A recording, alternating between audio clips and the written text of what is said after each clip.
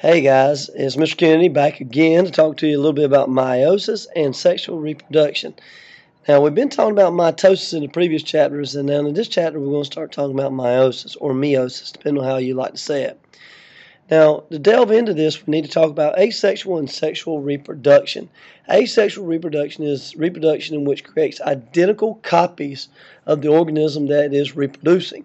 You create clones, if you will, because you only have one parent. Such as down here at the bottom, you have this hydra, and you have off to the side of this hydra, you see a piece budding off. Or, and this budding is what will create the new hydra. So it's going to be an identical clone to the hydra itself. And if you have six chromosomes in the original parent, then you have six chromosomes in each of the two that are created. That's asexual. Sexual reproduction is dealing with meiosis, and you get genetically different offspring because it's a combination of two parents' DNA.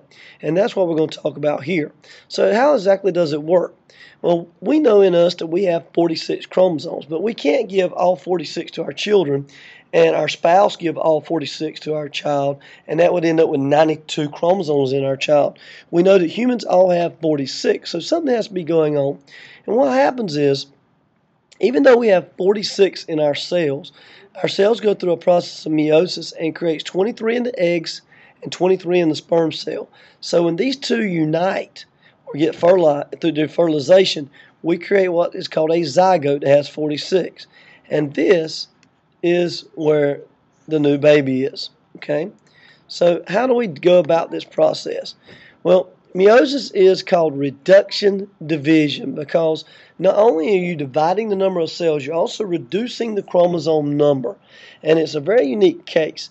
Our diploid number, our 2N number, our 2N number is 46. Now, what we're going to do is we're going to go from a cell that has 46 chromosomes, a diploid number, to a cell that has a 1N number of 23. This will be our gametes, our sex cells. So diploid, the 2N, means two, so you have two sets of all the chromosomes. Haploid means you have half of the chromosomes that are there. Now I've got a warning tag down here. Meiosis evolved from mitosis, so the stages and machinery are very similar. They look very sim, very almost the same, but the processes are really different. So don't get confused. All right. If you remember, in mitosis we did IPP mat, um, interphase, prophase, prometaphase, metaphase, anaphase, telophase.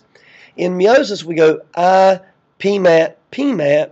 You're going to go through prophase twice, metaphase twice, anaphase twice, telophase twice. And here are the steps listed. Now, the good thing is the same things happen sim close to what you remember in mitosis. Well, at least down at the bottom. Okay, so I'll talk about this in a minute. Excuse me. All right, so let's look at this. If we start out with a cell like over here on the right that has two chromosomes, it's going to go through interphase, and it's going to replicate the chromosomes and have what's called sister chromatins. All right, and then it's going to go through meiosis one. Meiosis one is division of and separation of homologous pairs. So here's your homologous chromosomes, and they're going to separate. So what we here have here is our 2n number is equal to 2. Our 2n number is still equal to 2 here, but we're talking about a double chromosomes.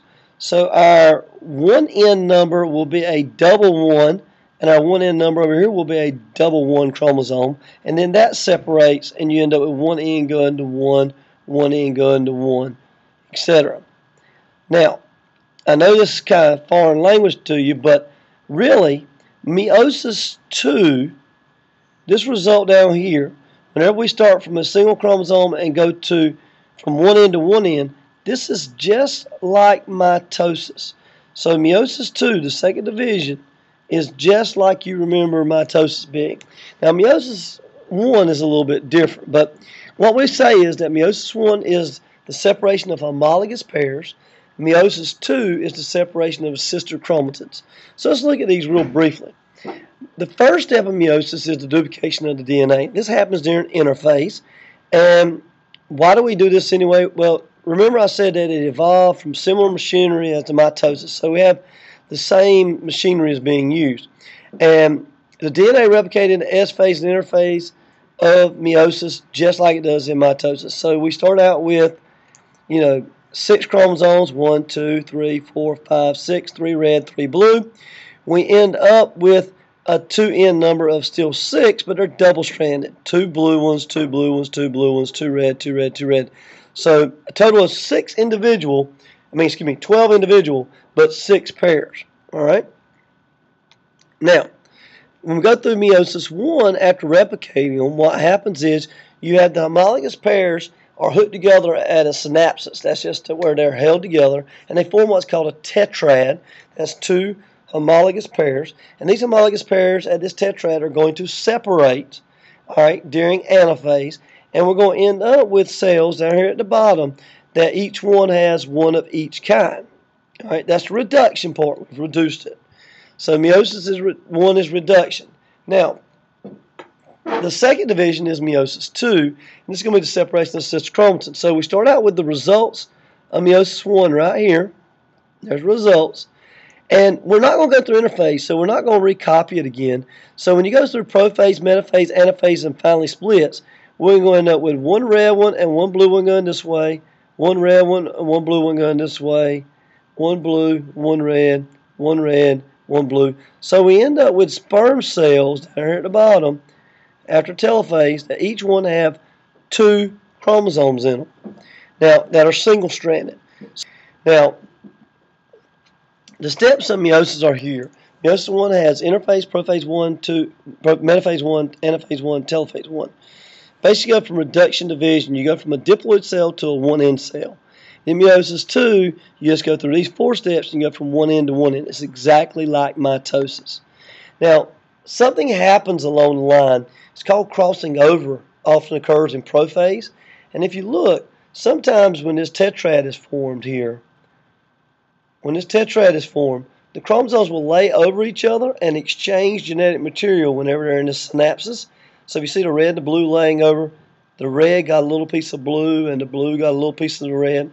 This is going to increase variability in the species. It's actually not necessarily a bad thing. It, um, it just increases the chances of all of us organisms being different.